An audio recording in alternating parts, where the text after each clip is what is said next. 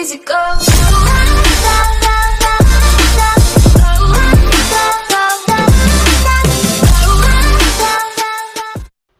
Moinsen und was geht ab? Willkommen zu einem COD BO4 Waffenreview mit dem lieben.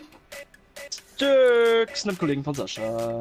Und wir gucken uns heute die neue Community-Waffe an, die die Community sozusagen heute gestern erspielt hat, die Graf. Ähm, wir haben sie schon, ich habe sie schon ein bisschen gelevelt auf Level 4. Ja, Schon ein paar Sachen, um sie dran zu machen, Re- Reflex, genau und so weiter. Werden Kleiner- wir jetzt hier mal eine Runde spielen, mal so Review über die Waffe geben. Genau, und dann mal sagen, was ähm, was du eigentlich so So. kann, ne? Was, was, was, sie so kann, ob sie, ob sie gut ist auf äh, Close Range, auf Long Range. Einfach mal gucken, wie sie abgeht so. Ja, und kleiner Funfact nebenbei, äh, wie viele Spiele die Community spielen musste, sind 15 Millionen gewesen. Insgesamt, jetzt haben wir hier durch die Community die geile Waffe. Und ich habe schon ein paar Runden mit der gespielt, äh, da lebe Simon auch. Und äh, ja, hat halt das Feeling wie eine ICR, aber ein bisschen besser so. Meiner Meinung nach. Aber wir bewerten sie jetzt nochmal einzeln. Aber ich sagen, suchen wir mal ein TDM-Match. Und äh, wenn wir in der Runde sind, äh, dann sagen wir weiter. Ja, Ich hasse diese Oh, das Ladezeiten, ne? Ich, da sehe ich schon äh, den nächsten mit der Graf. Mhm. Wir sind vier Leute im Team mit einer Graf. Da muss ich mir schon mal fragen, die Waffe ist dezent OP vielleicht. Ja, müssen wir jetzt schauen, ja, testen wir jetzt mal aus. Beide nicht eingespielt. Ja, schmeckt, ne? Ich kenne die Map auch absolut nicht. Ich auch nicht. Erstens nicht eingespielt, Das zweitens Problem die ist, Map ich nie gespielt. Map halt. Ja, Problem ist, ich kenne die Map nicht. und ich kenne die Laufwege nicht. Ich weiß nicht mal, wo ich hin muss, Digga, um Gegner zu Also, finden. was ich hier gerade von den Gegnern so sehe, Boah. ist die auf Long Range absolut krank, die Waffe. Also, Ja, Digga. Auch, auch auf Close Range. also für mich, für mich erinnert sie sich ein bisschen wie eine KN. Also die KN. Boah, Alter. Ich bin letzter. Auf Singo bin ich auch letzter. Ich kenne gar keinen Laufweg. Ich weiß nicht, wo die Gegner spawnen. Oh mein Gott. Das ist ein Nuke, dann wäre halt so, wär halt so eine Map, da wüsste ich noch, wo, wo Spawns sind, wo ähm, Laufwege sind. Aber die Map Boah. ist für mich komplett ungewohnt, Real Talk. Aber wenn man mal Gegner findet, Digga, dann ist die Waffe auf Oh, jeden ich Fall. sehe nicht, ich sehe nicht, oh Gott. Ich bin so ein Noob, ne? Äh, man braucht auf jeden Fall schnelles Magazin drauf. Das merke ich direkt, weil bis sie nachlädt. Ey. Close Range überzeugt sie mich bis jetzt überhaupt nicht. Ey, die Map. Sorry, aber die Map. Nee. Bruder, ich bin, steh, ich stehe. Wie stehe ich denn? 12, 8. Ich habe halt gefühlt, mein Aim ist so, als könnte ich absolut nicht mehr aimen im Spiel. Oh, das Aim war absolut nicht da. Oh mein Gott. Hätte ich den Gunfight verloren, Digga, ich hätte so mein, mein Leben verkaufen können. Trotz, dass wir jetzt, sag ich mal, reingeschissen haben, hat sich die Waffe trotzdem gut angefühlt, meiner Meinung nach. Also ich hatte auf jeden Fall meinen Spaß mit ihr. Wie sieht's bei dir aus? Ja, mich hat's ja auf, also, wenn ich jetzt mal sagen würde, wir haben eine neue Map, so Newton Na. oder so, dann könnte ich mich wirklich davon überzeugen, so. Mhm, Aber, definitiv. Also da bin ich derselben Meinung. Aber jetzt äh, hoffentlich kriegen wir eine gescheite Map. Wenn nicht, äh, dann sehen wir uns beim nächsten Cut oder so. Also bis gleich, ne? Auf Ehre beide HPTC. Bester Mann im COD-Bereich, oder? ja, moin. Digga, Grüße gehen raus. Grüße gehen an dich raus. Ja gut, ne? Sie wurden aus dem Playstation rausgeworfen. Du auch?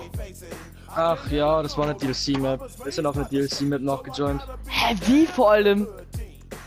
Ich verstehe es auch nicht. Irgend- Also aus irgendeinen Gründen sind wir auf eine DLC-Map noch gejoint. Ja, gut, ne? Also, da hat uns wieder Call of Duty Black Ops gegönnt. Nicht schon wieder WMD.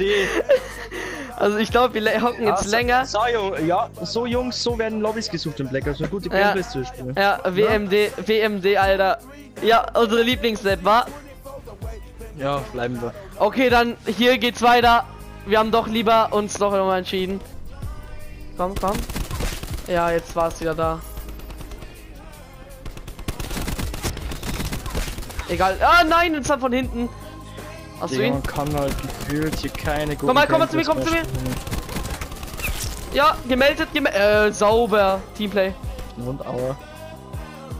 Ich beiß noch deine Klöten ab, Digga. Ich bin Hinter nicht uns. Klaus Kill. Kurzer, kurzer Zwischenreview. Die Waffe ist schon geil, aber nicht in jeder Situation. Das Problem ist, du musst mit der Waffe eigentlich den Kopf treffen. Ja. Weil die Waffe einfach auf Kopf so effektiv ist. Aber das, wenn du wirklich den Kopf triffst, ist er erst richtig schnell down. Das Mhm. Problem ist, wenn du ihn nicht triffst, hast du in den meisten Gunfights eigentlich schon verloren. Das ist Stimmt das Problem. Richtig geile Lobby gefunden, oder? Jo. Also ich bin von Gridlock überzeugt. Da kennt man wenigstens so die Laufwege. Man weiß, wo man hin muss, wo man spawnt. Das finde ich nice. Also die Graf im Großen und Ganzen eigentlich schon überzeugend, oder? Ja, ich finde so einigermaßen wie eine bessere KN 74. Rückstoß ein bisschen zu krass. Ja, okay. ein bisschen zu krass. Man kann das manchmal nicht so handeln, ne? Ja, ab und zu, ab, absolut geht's, äh, ab und zu geht's einfach mal gar nicht. Da ist komplett RIP. Ja. Also, beziehungsweise, wo sind die? Aber was ziemlich auch noch ein bisschen erinnert ist die Rampart. Ja, ja, irgendwie auch schon, ne? Die die sind irgendwie die drei Waffen so zusammengemixt, würde ich behaupten. Also die sind in der Mitte wieder. Ich lauf nicht hier durch. Ich habe Teammate gerade so gecarried, ne? Hab's doch gewusst, da steht einer. Scheiße. Oh mein Gott. Oh mein Gott, hab ich hab- was ich hab ein bisschen, bisschen gejoked, Alter. Jetzt. Ach scheiße, das sind zwei. Zwei, einer oben, einer unten. Oh. Den da oben habe ich, aber er hat mich auch. Also was ich besser finde auf der Waffe, ist, ist so nicht, nicht Ah, durchdrücken. abgesichert. So langsam. Also auf, auf Long Range äh, Alpha. Charlie ist abgesichert. Ich hab Maus Seeker. Ja, moin. Es ist noch nicht vorbei. Gruppiert euch neu und Ich glaube, wenn ich wenn ich schnelles Mac drauf habe, lässt sich das besser spielen. Oh, Maga äh, ich habe eine Magazinerweiterung, sauber. Ich hab super hin. Oh mein Gott, der hat mich so die Jahre genommen. Oh mein Gott, bin ich schlecht. Oh Gott, das ist ein Gegner. Oh mein Gott. Hab ihn für dich. Gleich. Hinter mir.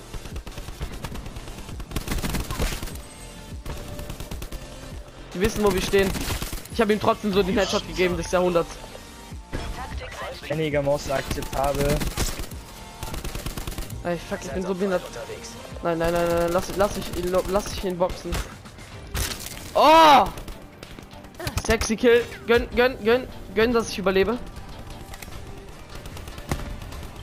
Nein, hätte ich den noch bekommen, Digga. Ich habe so kein Aim.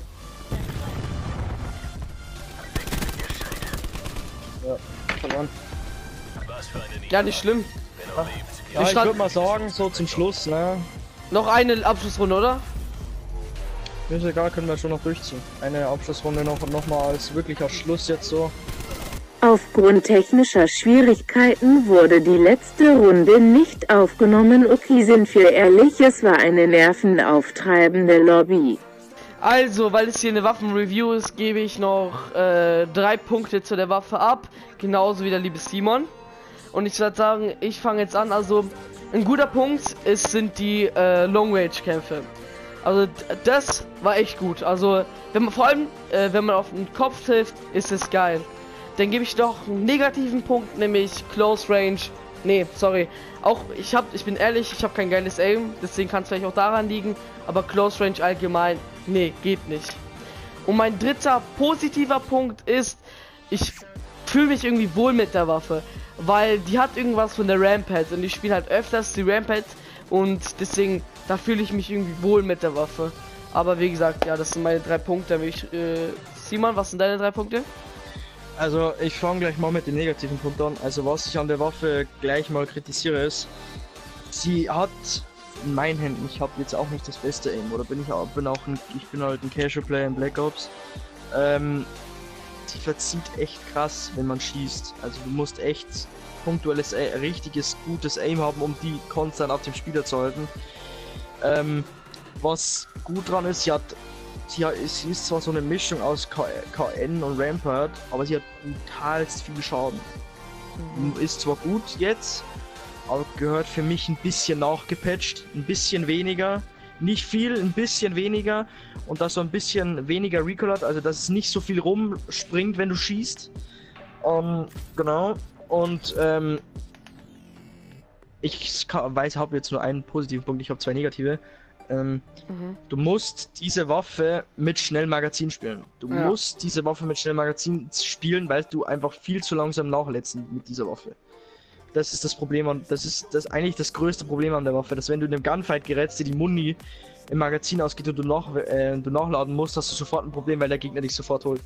Wenn er mehr Ammo oder so oder mehr Ammo im Magazin hat oder du spielst halt sozusagen, wie es ich jetzt mal probiert habe, äh, größeres Magazin, Ja. hast du halt in den Gangfights mehr, mehr Kugeln im Magazin. Mhm. Andere Problem ist, du hast halt äh, nicht das schnelle Nachladen. Ja, und da Groß und. Ganzen würde ich sagen, groß und Ganzen würde ich sagen, die Waffe ist okay. In meinen Augen noch ein bisschen zu stark, ein bisschen. Mhm. Und den Recoil, also den Rückstoß, müsste man ein bisschen ändern. Ja, also ich würde auch sagen, lieber den Rückstoß so ein bisschen zurücknehmen, dass er ein bisschen besser ist und daf- dafür aber den Schaden runterschrauben. Weißt du, hast du wieder so eine Balance, wieder, dann balanciert sich das wieder Genau. aus vom Schaden und vom Rückstoß. Aber im Großen und Ganzen geil, dass die so eine Aktion gemacht haben. Nicht, dass sie einfach runtergedroppt haben wieder für Geld, sondern dass einfach 15 Millionen Matches absolviert werden mussten. Und das finde ich als eine geile Aktion von Black Ops, von Treyarch eher gesagt.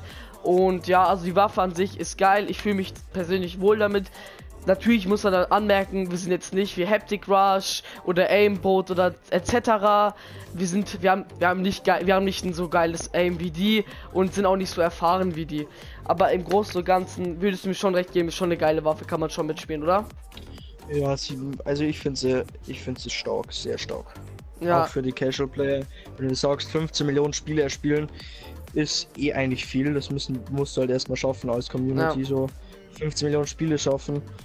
Aber meines Erachtens ist äh, auf Long Range ein bisschen zu krass und Mhm. auf Close Range ein bisschen zu schwach. Also du müsstest halt so einen Mittelpunkt finden. Das, dann, Ja. dann wäre sie die perfekte Waffe. Auf Long Range weniger Schaden, auf Co äh, Close Range mehr Schaden. Und dann müsstest du noch den Mittelpunkt finden. Und dann wäre es die Waffe, die glaube ich jeder spielen würde. ja also wir Du sind ja halt, sehr. du hast halt auch im Gunfight Vor Nachteile gegen so SMGs wie eine, wie eine, Ja. ähm, wie Saug. heißt sie denn, äh, wie eine Saug hast du Ja. ein komplettes Problem, weil du einfach die, die Feuerrate von deiner Waffe hat einfach absolut keinen, äh, du kommst einfach absolut nicht drauf klar, weil die eine, so eine krasse Feuerrate haben, dass du sie eigentlich gar nicht umbringen kannst sozusagen. Ja, gebe ich dir auf jeden Genau. Fall vollkommen recht. Also, wir sind hier derselben Meinung. Äh, schon stark, aber jetzt nicht krass OP wie eine Titan oder so. Also auf gar keinen Fall. Sie ist solide, würde ich sagen. Oder solide. Solide. Man muss ein bisschen was nerven, ein bisschen was, aber ist normal bei solchen, sag ich mal, DLC-Waffen, in Anführungsstrichen, eher gesagt eine Community-Waffe. Aber ja, also, dann würde ich sagen, äh, das war's mit unserem kleinen Video hier. Äh, noch ganz kurze Informationen. Es gibt zwei Sichten, einmal die von mir und einmal die vom Simon. Falls es zu zum Beispiel mein Audio, hört man nicht in sein Video oder andersrum, dann tut, dann tut es schon, uns jetzt schon mal leid. Wir wissen nämlich nicht ganz, ob das hier aufgenommen wurde oder nicht. Aber wie gesagt, das war's mit dem Video. Lasst ein Abo und ein Like da. Schaut beim Kollegen vorbei. Und durch die Resonanzen sehen wir, ob ihr noch mehr Bock drauf habt. Ob wir hier noch ein bisschen COD bringen. Oder ob wir unser äh, FIFA-Video nachholen. Das äh, ich leider ein bisschen verpeilt habe. Das tut mir auch nochmal leid. Eigentlich hättet ihr jetzt ein Video, äh, FIFA-Video gesehen. Aber egal. Black Ops und hier die abschließenden Wörter gehen zu dir. Ja, wie gesagt, ich kann eigentlich nur das gleiche, äh, ich kann mich hier nur anschließen. Ich hoffe, euch hat das Video gefallen. Ähm, falls ihr mehr Black Ops oder FIFA sehen wollt, wenn wir das FIFA-Video nachziehen, könnt ihr Ja. das natürlich äh, hoffentlich, wenn ihr euch das anguckt, liken, ein Abo da lassen. Und dann sehen wir halt an eure Resonanz, wie es wird, ob wir mehr Black Ops, mehr FIFA bringen sollen. Genau, und ich hoffe, euch hat das Video gefallen, auch wenn wir nicht die besten COD-Spieler sind. ähm, genau. Und ich hoffe, euch hat das Video gefallen. Abo, Like wäre nice. Kostet natürlich nichts. Und dann wünsche ich euch noch einen schönen Tag. Schönen Tag und haut rein. Ciao.